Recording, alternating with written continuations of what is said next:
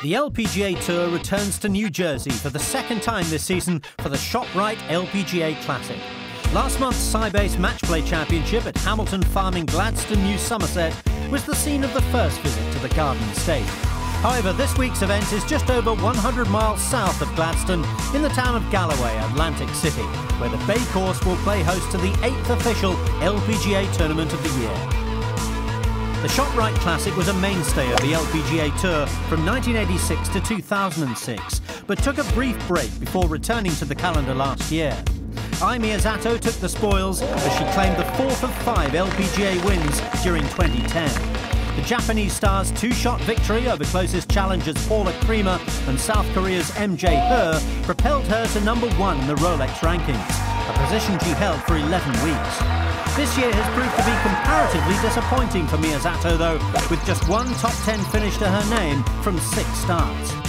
Currently seventh in the world rankings, the 26-year-old will be hoping to be the first player in 2011 to successfully defend a title. If her putter runs hot again, she has to be a contender.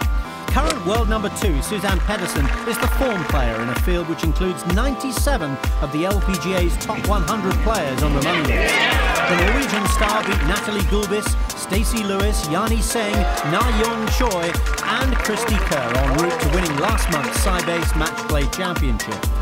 Pettersen continued that good form last week as she made the trip to Rio de Janeiro for the HSBC Brazil Cup. She finished 10th, and if she's over the jet lag, the five-time Solheim Cup player could be the one to watch.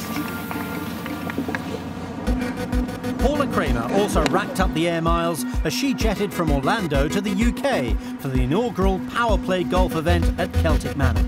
The reigning US Open champion teed it up alongside the likes of current US Open men's champion Graham McDowell and Ian Poulter and she entertained the crowds with a number of great shots as she played her way to a third place finish. With the defence of her US Open crown at Colorado Springs on the horizon, the nine-time LPGA winner has the chance to move back into the top 10 of the Rolex rankings with a good showing at Bay Course. Yani Tseng, one of six different winners on tour this season, is the pick of the rest of the field. The world number one has not been in the best of form recently, and with Suzann Pettersen close behind her in the Rolex rankings, the three-time major champion could certainly do with an improved display.